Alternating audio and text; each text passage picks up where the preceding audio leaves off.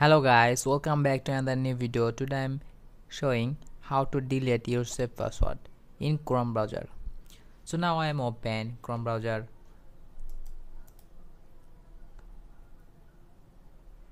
And default uh, search engine google duckduckgo i am using and i love it. So click three dot icon click setting and click autofill and password and click Google password manager.